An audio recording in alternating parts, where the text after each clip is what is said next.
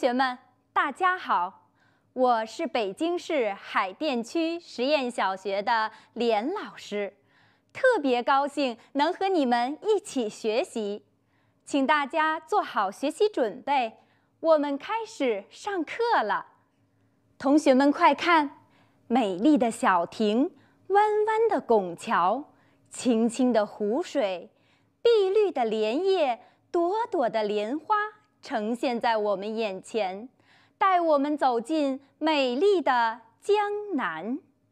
请同学们拼读一遍这个词语：鸡昂江，一声江，南南二声南，江南。江是三拼音节，拼读时这位同学做到了声轻节快，韵母响。再听老师读一遍课题，注意。读准字音，江南，你们自己也来读一读。江南中的江指的是长江，江字的左边是三点水旁，三点水旁的字一般和水有关。你们还知道哪些三点水旁的字呢？前面学习的流水的流，还有游泳，都是三点水旁的字。这位同学能够结合前面学习的内容，积累三点水旁的字，可真会学习呀！跟老师一起再来读读课题。三，江南。江南是指长江中下游以南的地区。诗中所描写的江南到底是什么样子呢？让我们走进课文去看一看。请看大屏幕。仔细听老师读课文。三，江南，汉乐府。江南可采莲，莲叶何田田。鱼戏莲叶间，鱼戏莲叶东。鱼戏莲叶西，鱼戏莲叶南。鱼戏。莲叶北，这是一首汉代的乐府诗，请你们打开书，自己试着读一遍课文。遇到不认识的字，就用拼拼音的方法学会它。如果还有困难，就用铅笔把它圈出来。开始读吧。下面再来听一听学习伙伴的朗读。注意听清每个字的读音，尤其是你们圈出来的字。三，江南，汉乐府。江南可采莲，莲叶何田田。鱼戏莲叶间，鱼戏莲叶东。鱼戏莲叶西，鱼戏莲叶南。鱼戏莲叶北，快看，文中出现了变红的字，请你们借助拼音将它读准确。江南可采莲，鱼东西。北字音读得很准确，注意“采”是平舌音，听老师来读“采”；“莲”是三拼音节，乐一俺莲。你们自己也来试试。汉字离开了课文，你们还能认识吗？自己先来拼一拼认字表中的字。鸡昂江，一声江。呢安南二声南，科鹅可三声可，呲矮采三声采，了一俺连二声连，鱼二声鱼，的翁东一声东。西一西，一声西，波诶北，字音拼读得很准确，声音也很洪亮。把这些生字送回到文中，跟着学习伙伴一起再来读一遍课文，努力把字音读正确，句子读通顺。三，江南，汉乐府。江南可采莲，莲叶何田田。鱼戏莲叶间，鱼戏莲叶东。鱼戏莲叶西，鱼戏莲叶南，鱼戏莲叶北。学习伙伴读的字音正确，句子通顺。下面我们到江南水乡的莲花池看一看，仔细看插图，把你们看到的都介绍给大家。我看到池塘里的莲花开了，还结出了一个个小莲蓬，莲叶绿绿的，一群小鱼在水里游来游去。这两位同学观察的真仔细。看，这是美丽的莲花，这里还有茂盛的莲叶。读读这两个词语，你们发现了什么？莲花，莲叶。我发现这两个词语里都有“莲”这个字。是啊，这个字里面还有一个新偏旁，叫草字头。带有草字头的字，大都和植物有关。那你们还知道哪些草字头的字呢？我知道前面学习的兰、草、花都是草字头的字。这位同学把学过的字都记住了，真棒！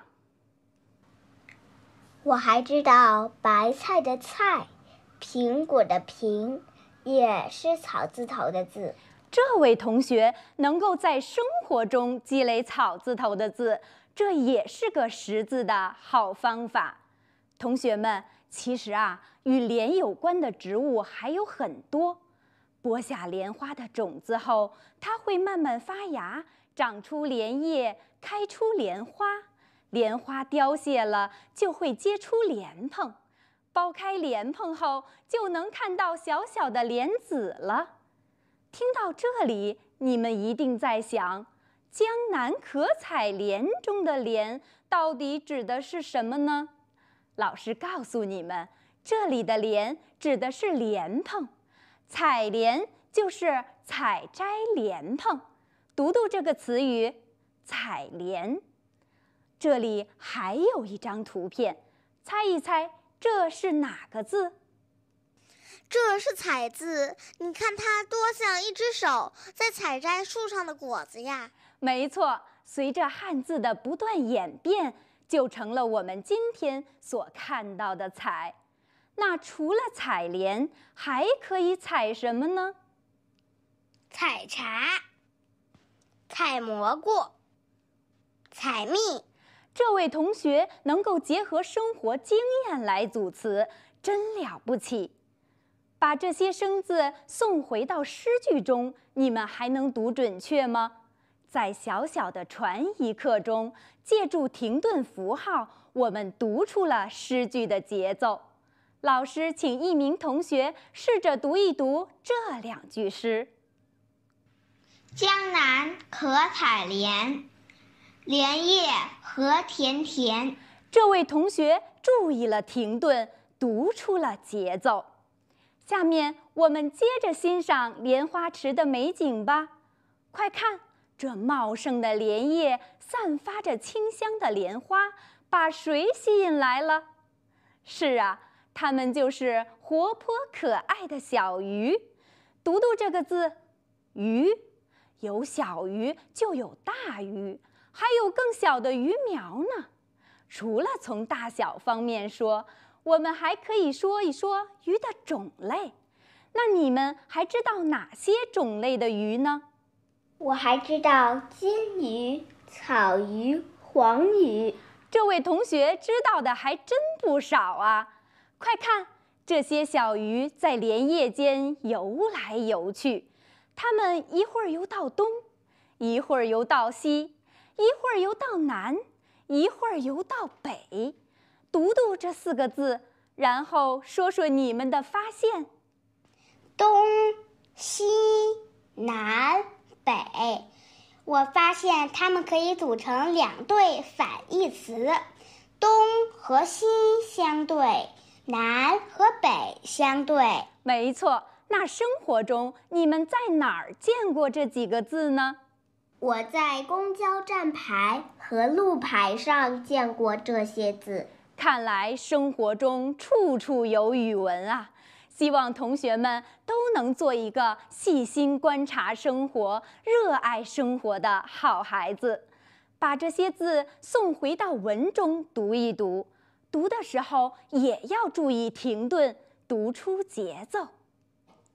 鱼戏莲叶间，鱼戏莲叶东，鱼戏莲叶西，鱼戏莲叶南，鱼戏莲叶北。学习伙伴读的字音准确，还读出了节奏呢。同学们，这节课我们不仅欣赏了莲花池的美景，还认识了许多生字朋友呢。快看！有一条小鱼在莲叶间游来游去，字朋友也想和它一起玩耍。快看看谁来了，请你们大声的读出来：鱼、南、江、东、莲、北、彩、可、惜。这些字，学习伙伴都读对了。屏幕前的同学们，你们都认识了吗？那你们能用“西”字组词吗？听听这位学习伙伴的发言：西瓜，山西，西方。学习伙伴的词语积累可真丰富啊！“西”字还是我们这节课要写的字。它里面还藏着一个新笔画，叫“竖弯”，请大家伸出小手写一写。从上到下写“竖”，再圆转向右写短横。咦，它和之前学过的“竖弯钩”有点像，怎么区分呢？儿的这一笔是竖弯钩，是带钩的；西的这一笔是竖弯。没有钩，这位同学观察的真仔细。再说一遍，变红的笔画叫竖弯，这个字怎么写才正确规范呢？先来看它的结构。西是独体字，写在田字格中间。那需要注意哪些笔画呢？撇在竖中线左边。竖弯在竖中线右边，撇低竖弯高。说的对，还要注意它们的收笔不能碰到两边的笔画。请大家伸出小手来疏空笔顺。横竖横折撇竖弯横。对照例字来评评这位同学写的“西”。这个字写对了，正确三颗星。西字里面应该是撇低竖弯高，他写的撇高竖弯低，所以规范两颗星。书写干净整洁三颗星。快看，这是他认真修改后的字，是不是更规范了呢？看来关注笔画的长短变化也很重要啊。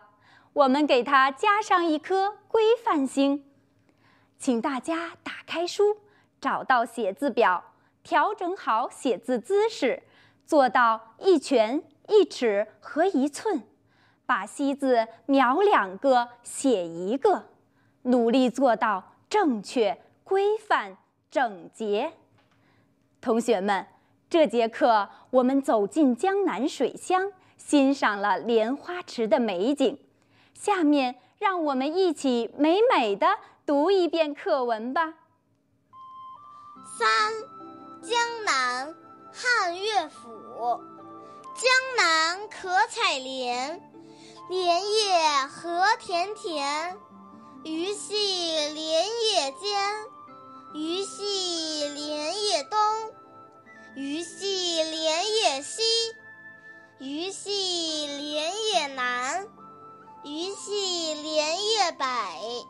这节课就上到这里，同学们再见。